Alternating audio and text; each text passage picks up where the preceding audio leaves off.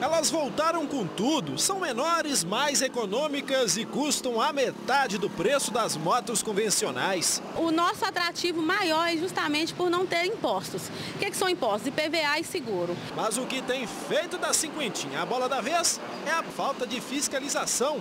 De acordo com o Código de Trânsito Brasileiro, os órgãos municipais de trânsito, como a BH Trans, são os responsáveis pelo registro, licenciamento, fiscalização e arrecadação das multas decorrentes de infrações envolvendo os ciclomotores.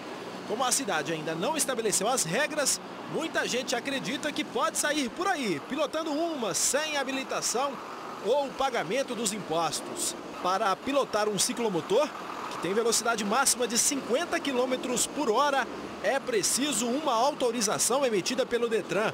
O processo para retirar o documento é o mesmo de quem pretende ter uma habilitação na categoria A. Ao perceberem que o processo de concessão da ACC é, é similar, é bem próximo da categoria A, eles preferem tirar a categoria A, ficar habilitado também para a condição de motocicletas e ter assim a condição de conduzir um ciclomotor de forma legal, de forma justa, é, habilitado pelo órgão de trânsito. Em Minas, apenas os filiados ao Sindicato dos Trabalhadores Autônomos Motociclistas têm permissão para pilotar a cinquentinha sem um emplacamento no estado. São os municípios quem tem que é, normatizar, vamos dizer assim, a fiscalização e, e o registro desses veículos. Sendo registrado, sendo licenciado, tendo toda essa documentação, o que a gente tem que buscar é a paz, a segurança no trânsito.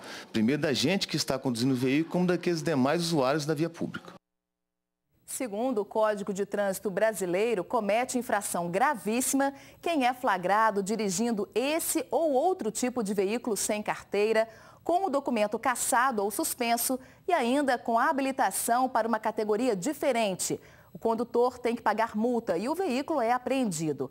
Em caso de provocar algum dano, ele pode ainda ser condenado a uma pena de seis meses a um ano de prisão.